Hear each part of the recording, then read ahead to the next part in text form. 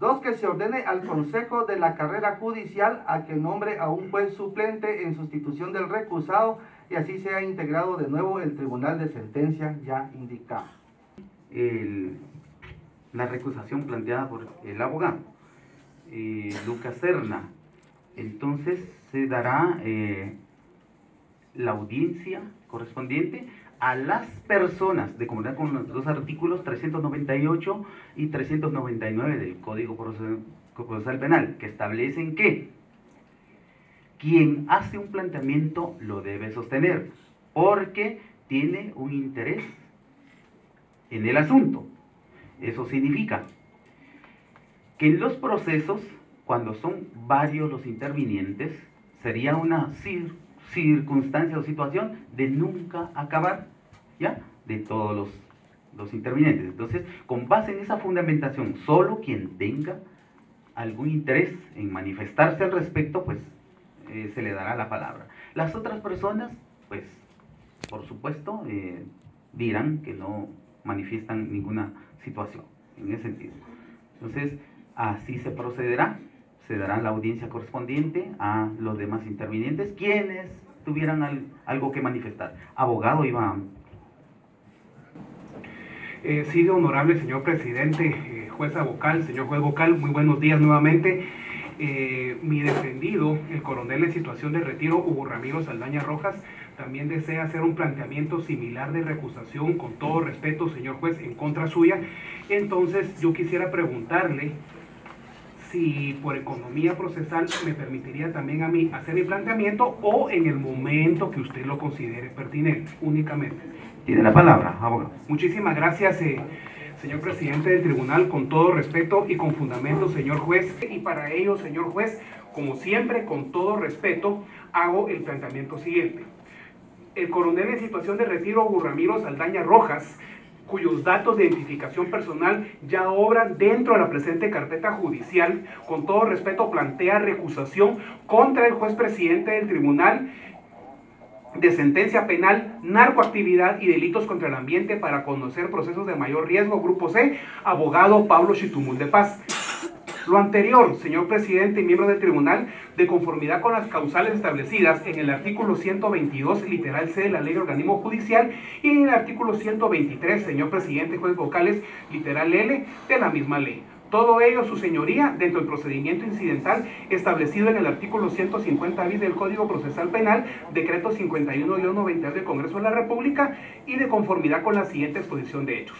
Para no ser repetitivo, luego de la profusa exposición de mi, de mi colega y amigo Jorge Lucas Serna, su señoría, el coronel Hugo Ramiro Saldaña Rojas me ha manifestado que desde el inicio del debate él se ha percatado de actitudes contrarias a su persona como ciudadano y como militar en situación de retiro y de manifiesto interés suyo como juzgador dentro del presente caso. Lo anterior desde el momento que las objeciones que mi, mi persona como su abogado ha planteado contra las preguntas a testigos de la parte acusadora o querellantes han sido declaradas sin lugar por su persona como director del debate. O bien, señor presidente, desde el momento que mi persona como quien ejerce su defensa técnica del coronel Saldaña Rojas ha planteado protestas u objeciones a los peritajes presentados por el Ministerio Público o la parte acusadora, por los querellantes, los cuales no han sido tomados en cuenta por usted. O bien, con todo respeto, usted únicamente se ha limitado a tomar nota de ellas, llegando al extremo, me informa mi y defendido al extremo de que se nos ha negado a los abogados que ejercemos la cuasi sagrada defensa técnica, en este caso, de contar con los audios de lo acaecido hasta la fecha en este debate. Hasta el momento, a mi defendido solo le había causado extrañeza su forma de actuar, que a grosso modo hemos detallado ya en este memorial, todo ello hasta hace algunos días, sin dudar de su imparcialidad y objetividad en el presente caso.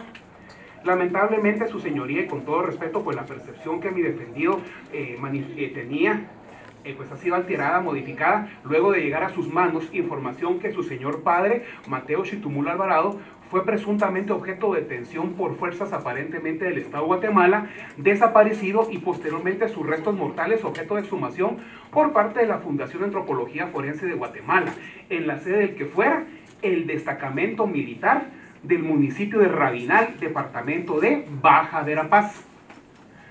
Por ello, mi defendido Hugo Ramiro Saldaña Rojas considera que usted ha generado o que usted manifiesta animaversión contra el estamento militar de Guatemala y tiene manifiesto interés en el asunto porque lamentablemente han sido exhumados los restos de su señor padre en el área del que fuera el destacamento militar de Rabinal, Baja Paz buscando con lo anterior perseguir y condenar del modo que sea posible a los militares en activo o en situación de retiro que han sido objeto de persecución eh, final y penal por temas relacionados a derechos humanos.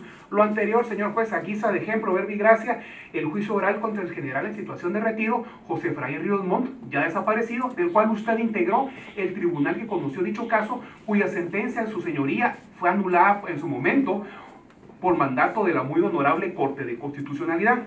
Las causales, señor juez, como hemos dicho al inicio, que mi defendido ha invocado en la presente recusación son la primera, la contenida en la literal C del artículo 122 de la Ley del Organismo Judicial, decreto 2-89 del Congreso de la República. ¿Cuál es? Tener el juez o alguno de sus parientes interés directo o indirecto en el asunto. La segunda, su señoría, contenida en el artículo 123 literal L de la Ley de Organismo Judicial, decreto 2-89 del Congreso de la República, cuando el juez, su esposa o alguno de sus parientes consanguíneos tengan enemistad grave con alguna de las partes. Y aquí encontramos, su señoría, una presunción legal que es muy interesante. Se presume que hay enemistad grave por haber intentado dañar una de las partes al juez o este a cualquiera de ellos en su persona, su honor, sus bienes o al de sus parientes de unos u otros mencionados en este caso. En el presente caso, con las actitudes del juzgador ya se ha indicado, o sea, su persona, señor presidente, siempre con todo respeto, del abogado Pablo Chitumul de Paz, documento extendido por el Registro Nacional de las Personas de la República de Guatemala. También, señor presidente y miembros del tribunal, copia simple la certificación de nacimiento del señor Mateo Chitumul Alvarado, padre del abogado Pablo Chitumul de Paz, documento extendido siempre por el Registro Nacional de las Personas de la República de Guatemala. Obviamente también, como así lo hizo mi apreciable colega Lucas Serna, una copia simple en mi caso de su del certificado de función que documenta que el día 1 de abril del año 1981 se inscribió o se realizó la defunción del señor Mateo Chitumul Alvarado, padre del abogado Pablo Chitumul de Paz. La defunción del señor Mateo Chitumul Alvarado acaeció y aconteció en el municipio de Rabinal, Baja Verapaz. Y por último, una impresión tomada del sitio www fafg.org que documenta la exhumación de los restos del señor Mateo Chitumul Alvarado. Lamentable suceso acaecido el 4 de junio del año 2008 en la sede del antiguo destacamento militar del municipio de Rabinal, Baja Verapaz. Código del caso FAFG-0353, correlativo de víctima 92. Código de víctima FAFG-0353-092, que obviamente se apuntan al memorial que se pondrá a disposición de usted, señor juez. Y por último, eh, la prueba pertinente, una presunción legal, la contenida en el inciso L del artículo 123 de la Ley del Organismo Judicial, decreto 2-89, que dice se presume que hay enemistad grave por haber intentado dañar una de las partes al juez o esta cualquiera de ellos en su persona, su honor o sus bienes o a los parientes de unos y otros mencionados en este inciso. Dentro de la forma, procedimiento y plazo establecido en la ley procesal correspondiente, se tenga interpuesta recusación contra el juez presidente del tribunal identificado, abogado Pablo Chitumul de Paz. Lo anterior de conformidad con las causales establecidas en el artículo 122 literal C de la Ley de Organismo Judicial y el artículo 123 literal L de la Ley de Organismo Judicial, decreto 2-89 del Congreso de la República. Se sigue el trámite que establece el artículo 150 del Código Procesal Penal, con la audiencia que ya se nos ha eh, verificado a su servidor, y para que sustancie esta recusación, que se le dé audiencia a los demás sujetos procesales, que se tengan por ofrecidos, propuestos e individualizados los medios de prueba para acreditar la recusación interpuesta en su apartado respectivo, el judicial. Se acompaña respetuosamente, señor presidente y honorables eh, jueces vocales, siete copias del presente memorial y los documentos adjuntos de copia simple. Mi petición está fechada el día de hoy, lunes 9 de mayo de 2018, y en el memorial correspondiente, señor presidente, eh, ha sido suscrita por mi persona a ruego del presentado coronel en situación de retiro, Hugo Ramiro Saldaña Rojas. Únicamente, señor presidente, muchas gracias por darme audiencia. Certificación de la partida de nacimiento, eh, según la numeración que corresponde, que corresponde al juez presidente de este tribunal. Certificación de la partida de nacimiento también proveniente de, de registros de Baja Verapaz, y se refieren al señor Mateo Chidmul Alvarado. Certificación de la partida de función con la numeración correspondiente y se refieren también al señor Mateo Chidmul Alvarado. Certificación de partida de nacimiento correspondiente de los registros de Rabinal Baja Verapaz de Laura de Paz de Asimismo, oficio no, perdón, ocho imágenes capturadas de la página de internet de la dirección correspondiente FAFG y refieren Mateo Yudmur Alvarado y las cuales contienen información general. Dos, listado de víctimas. También información sobre Chitumul Alvarado Mateo deja constancia el juez presidente Pablo Chitumul de Paz de lo siguiente. De conformidad con los artículos 122, literal C, 123, literal L, 129 y 131 de la ley del organismo judicial, deja constancia de que no son ciertas las causales invocadas por los recusantes. Los distinguidos profesionales quienes actúan en la defensa de Manuel Benedicto Lucas García por la recusación en incidente el día de hoy interpuesto por Jorge Alfonso Lucas Serna. Tampoco son ciertas las causales invocadas por el interponente, el abogado Waldemar Antonio Leonardo Figueroa, en la defensa de Hugo Ramiro Saldaña Rojas. Independencia judicial es un principio que no debe ser interferido y que cualquier persona que entorpezca el ejercicio de los jueces serán denunciados para que nunca vuelvan a ejercer ningún cargo público. También, esto en congruencia con lo que establece el Código Procesal Penal en sus artículos 3, 5, 9, 11, 11 bis, 13, 64, 65, 66, 67, 369 de dicha normativa. En los primeros 10 artículos establece que ni, lo, ni el tribunal ni los sujetos procesales podrán variar las formas del proceso. Asimismo, el artículo 5 establece los fines del proceso, que inician con la averiguación de si un hecho puede ser constitutivo de delito o falta. El diligenciamiento de las fases del juicio hasta la sentencia correspondiente. No existen las causales invocadas por los señores abogados. Y efectivamente y específicamente a que no existe enemistad con ninguno de los señores procesados por parte del juez presidente.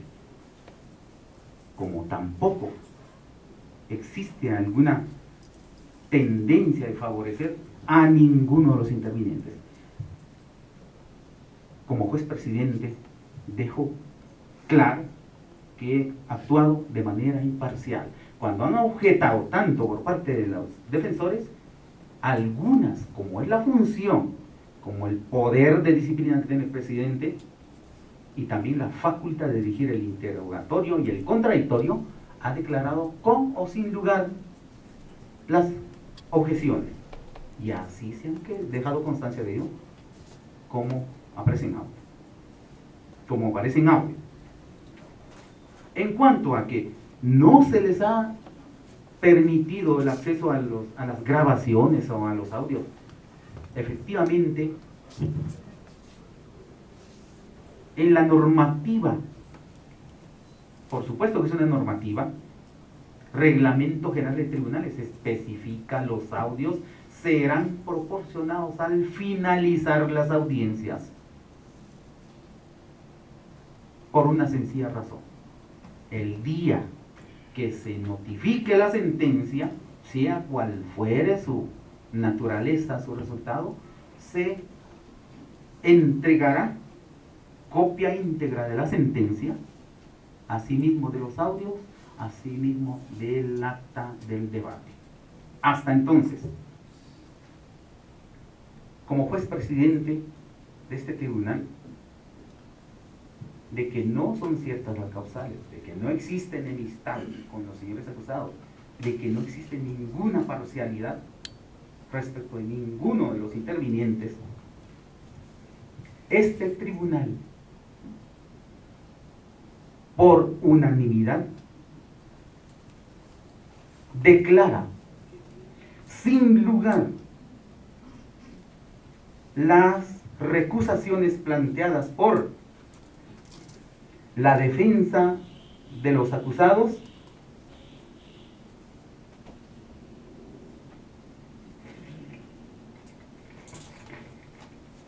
Hugo Ramiro Saldaña Rojas, Francisco Luis Gordillo Martínez, Edilberto Letona Linares, Manuel Antonio Callejas Callejas, Manuel Benedicto Lucas García, a través de sus abogados defensores, Valdemar Antonio Leonardo Figueroa, Juan Orlando Rivera, García Rivera, José Luis Alejos Rodríguez, José Antonio Anaya Cardona, Jorge Alfonso Lucas Serna.